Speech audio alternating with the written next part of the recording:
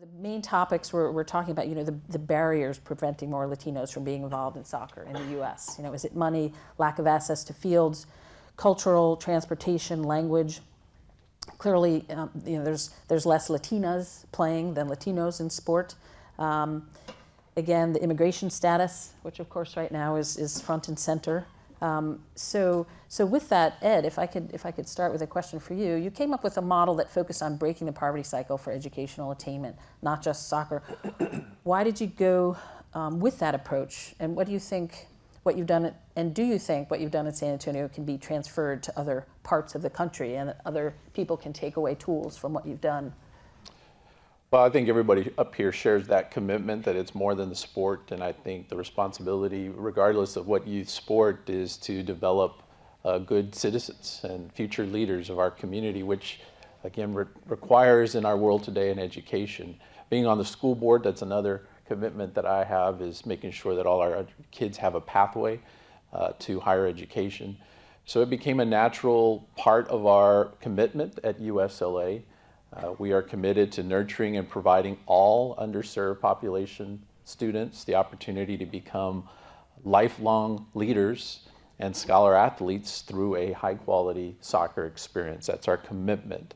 But the reason that it helps us to sustain our organization is because if we only talked about soccer to business leaders or potential sponsors, there would not be a lot of interest unless they played soccer. And so our message and our commitment in our message is what resonates to donors and business leaders is to break the cycle of poverty for this underserved population, uh, to focus 51% of our program is leadership development, college and career pathway, uh, looking at community service as a requirement for every team, every season, so that they have a, a deep resume when they apply for college. 49% uh, of it is soccer.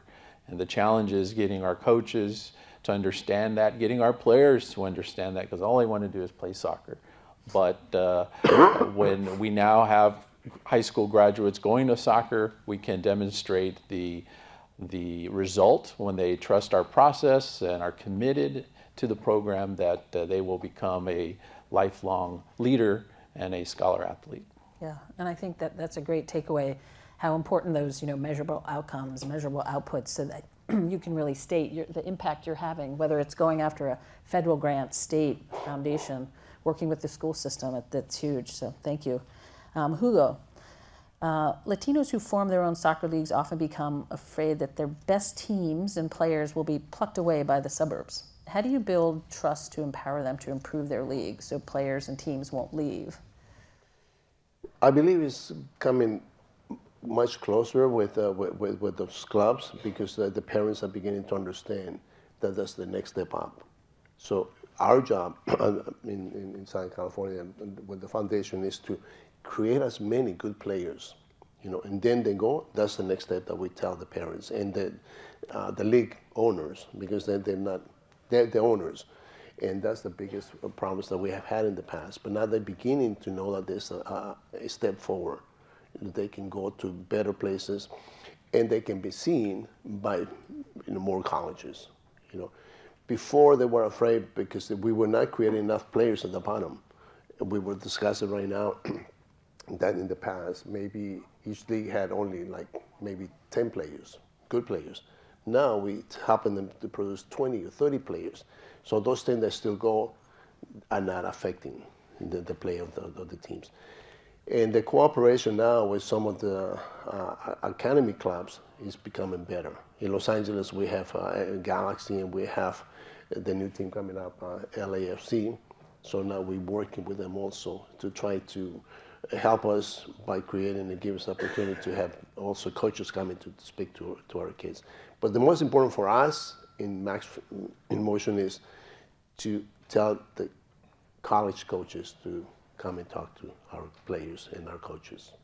Yeah, thanks, Hugo. And jump in on oh yeah on sure. that. You know, my, I mean, and, and I think uh, exactly right everything Hugo is saying. But you know, the other thing that happens a lot of times in these communities is you'll see the what, what would be a club locally, a rural community club, will kind of get broken apart because the coaches can make some money coaching for another club, or they take this good player or that good player. Some go into affiliated you know, soccer clubs, some to just another guy hustling in the neighborhood.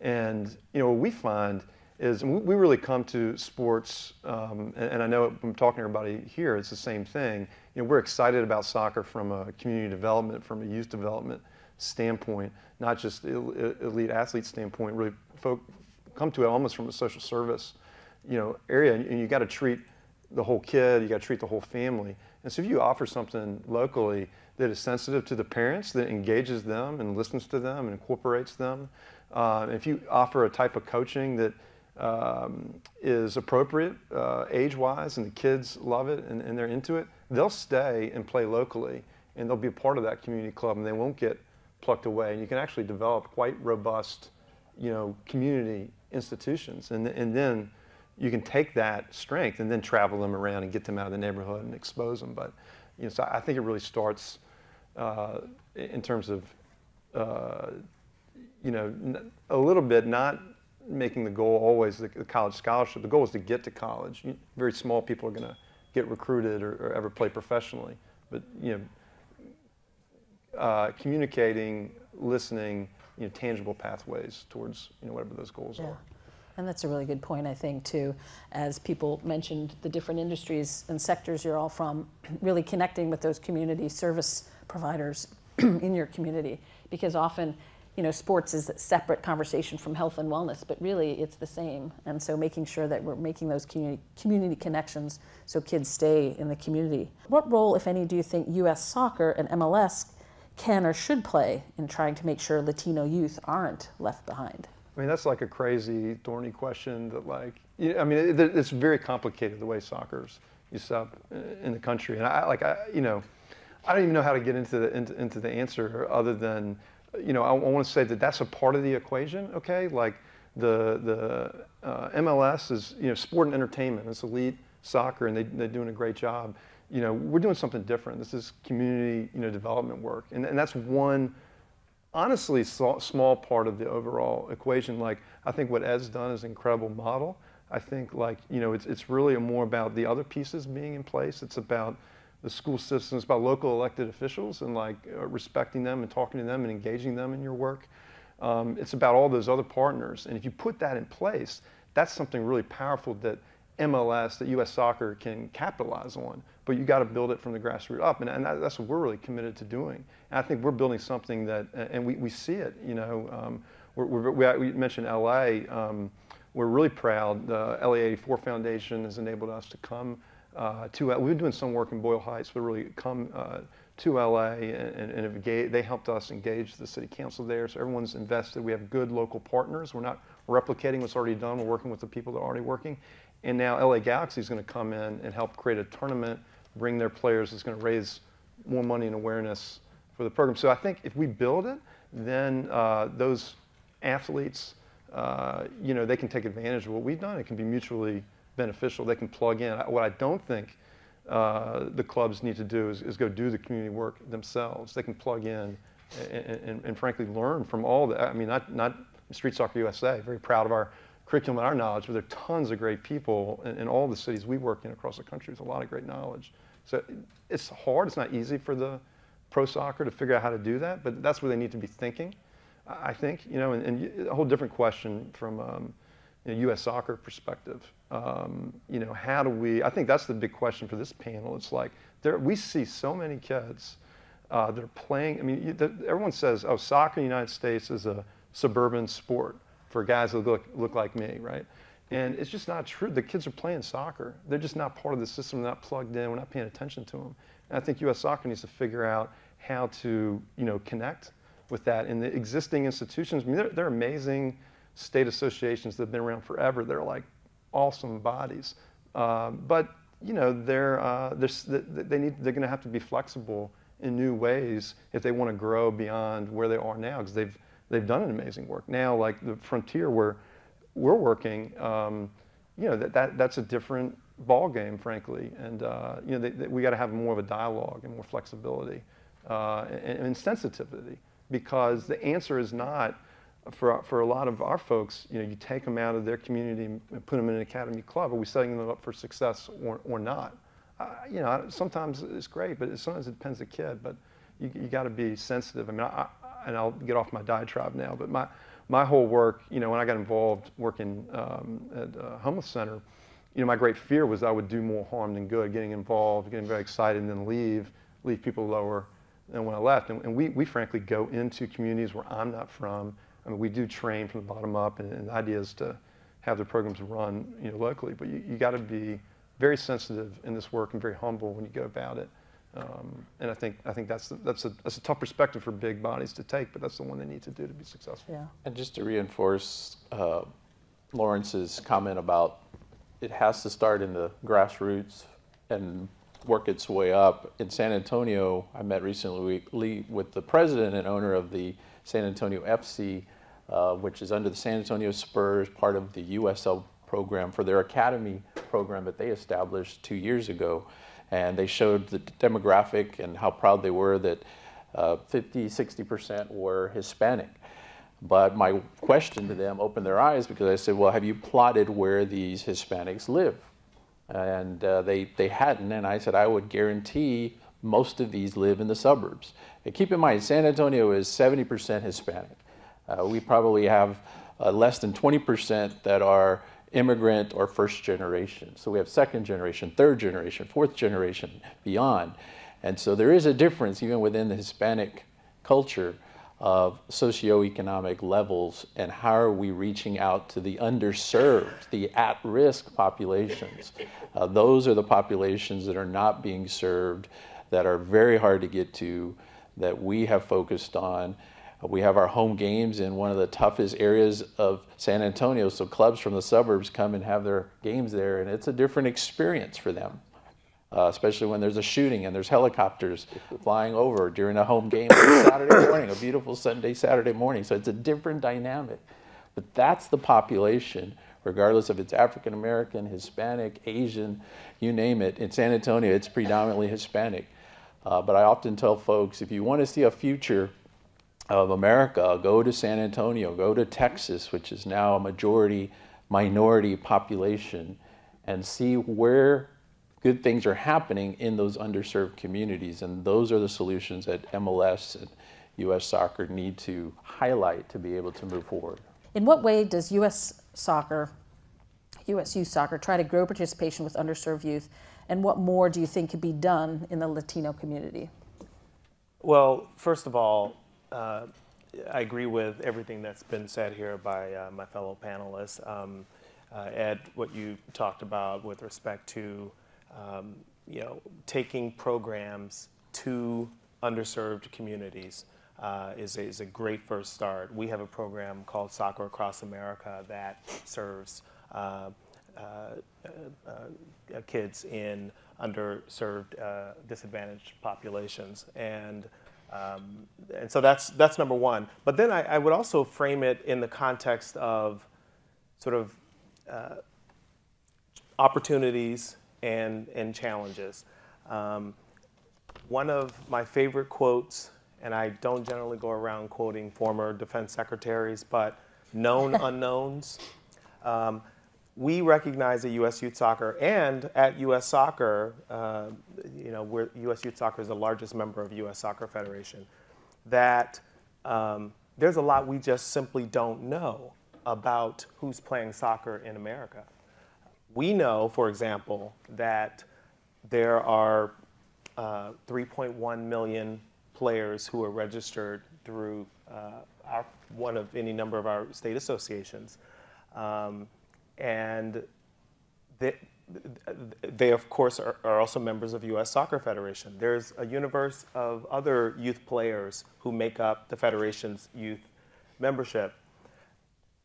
The, the challenge is we have no quantifiable uh, data source where we can aggregate all of the, the uh, registrants, the participants who are playing at the grassroots uh, that, um, uh, in, a, in a structured way. We, we have no way of, of aggregating all of this data and analyzing it and doing predictive analytics and looking at different communities across the country, identifying who makes up a minority population, who doesn't. But, but the opportunity is we're, we're getting there. We, uh, both we and US Soccer are partnering with respective organizations uh, to build the technology that will allow us to become much smarter about our membership. And I say all of that to, to say that it, it- starts with knowing who your members are, uh, and that's the first step in being able to meet their needs. And but but I'll say this too that the challenge is that the data is that uh, gets amassed or collected in this database is only as good as the inputs. And unfortunately, what we find in uh, various um, state association registration data is that many of the Latino families who register, uh, many don't have uh, credit cards, um, and they're bringing cash to you know a Saturday league, and their mom, who tends to be the gatekeeper, is very reluctant to provide data to the state association.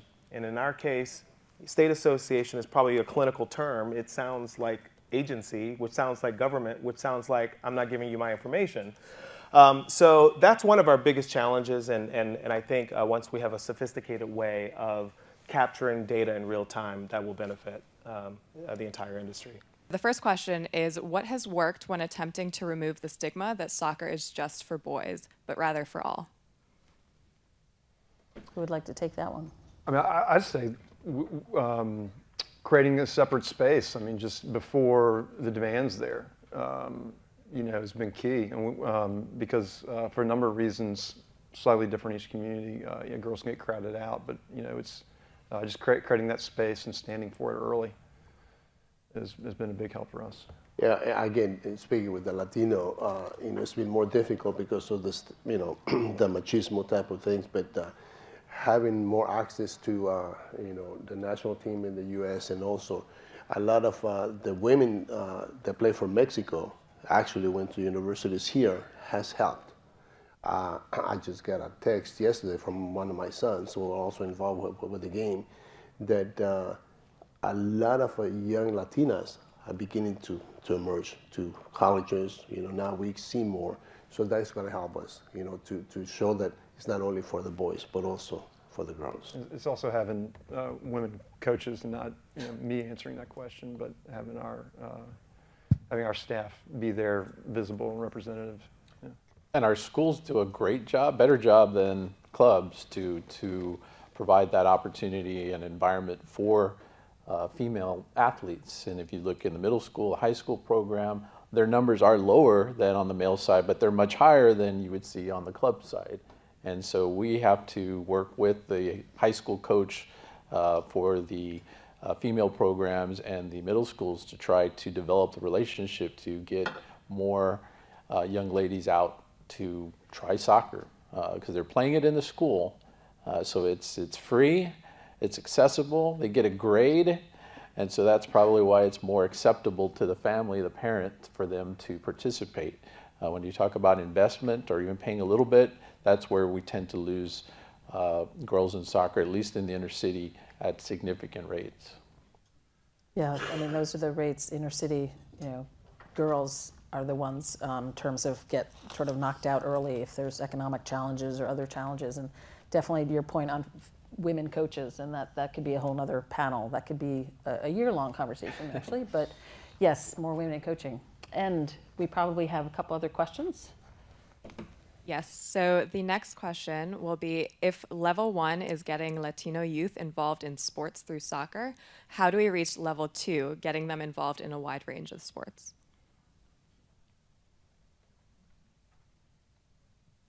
I think uh, education, uh, did you say wide range of sports? Yes. Um, I think uh, educating parents um, on the importance of multi-sport participation is is key.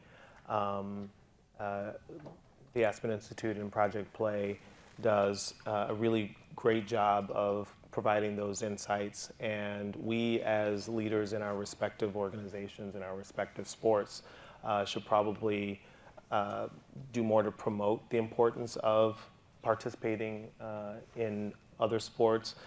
Uh, we at US Youth Soccer don't look at other sports as competitors. Um, we look at the calendar and we recognize that we share players uh, during different seasons of the, of the year. Uh, so that would be my recommendation to, to really uh, promote multi-sport play. And I would just say patience because, again, if it's the immigrant, they're going to gravitate to soccer because in the home country, soccer is king. But as they get to second generation, third generation, the kids start to play other sports because they're in a school that offers more. So, again, it depends on where they are in that cycle of generational immigration to the United States or assimilation that dictates what sport they tend to start participating in.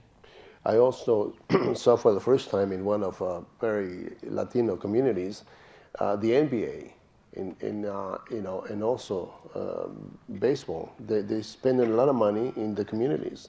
In the city of Compton, you know, baseball put ten million dollars. You know, and I went to a gym uh, where I only used to see even indoor soccer, and now they were playing basketball. You know, so they are, as Ed said, you know, maybe it's the second generation that is beginning to, you know, be more on those sports. Yeah, I, mean, I, I agree. It's like, I mean, certainly the cultural tendency towards soccer, and we have this amazing, particularly parent engagement relative to some other communities around the Latino communities, but it's about relationship, it's about the individual coach, it's not about the sport. If it's if there are no barriers, if it's accessible, if the coach is caring and sensitive, like the kids are going to come whether you're playing, you know, tiddlywinks or soccer, it doesn't matter. They're going to come for that uh, as opposed to the sport itself. Yeah, and that's another great comment about you know the coach because often at levels of sport you're often trying other sports just to have fun, just to break up the monotony. I mean, it shouldn't really be mon- monotonous. Um, so And- and- and Yep. If I may, one other point that I think is mission critical.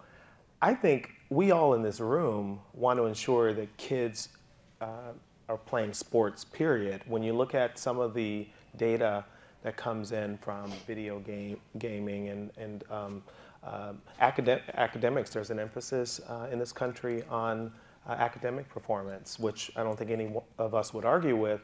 But the reality is is that parents are finding many other things for their kids to do. My two boys, when they have time, they both are enrolled in sports, but when they have uh, uh, their academics come first, their band electives and other things come first. Um, and so our objective should be to ki- keep kids in sports and not in video games and other uh, Yeah. things that t- uh, take their time. I mean, it's interesting. You made you made me think. Like, you know, now we're we go out, we have to, you know, sell our program, whether we charge for it or not. We don't. Uh, so, you know, it's the benefit. I mean, it's sports, but it's the benefits. And it's telling parents about the core. The kids do better in school, grade wise, and we have stats on our program, and we market that uh, to the parents as much as we do to, you know, foundation. And so it's, um, yeah, it's selling uh, the benefits of sports for sure. Well, thank you. Um, thanks everyone for attending. I just want to do another uh, shout out to um, to the guys on the panel. So thanks, Hugo, Chris, Ed, and Lawrence for everything. Let's give them a round of applause. And and I was as I was flying here yesterday. I mean, I've read the Project Play reports, you know, numerous times, but I have to say, I still go back on the website and read the specific eight strategies and, and how things are changing and they, they they're toolkits those those informational um, you know uh, brochures and so I would encourage you if you haven't already read those and again in your packets you have the updated um, versions but there's so much good information about what's working and, and how to how to follow some of these models and these great programs that are all over the country. So so with that thanks very much